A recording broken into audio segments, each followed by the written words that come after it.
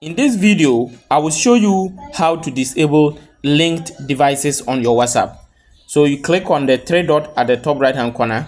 The interface may vary depending on the version of WhatsApp you are using, but you see the three dot, then you see linked devices. Then you see the devices you have logged in on a computer before. And if you don't log out, it means that the, the, the if you logged out into a device that you haven't logged out, it means that you, your WhatsApp can be accessed on that particular de device.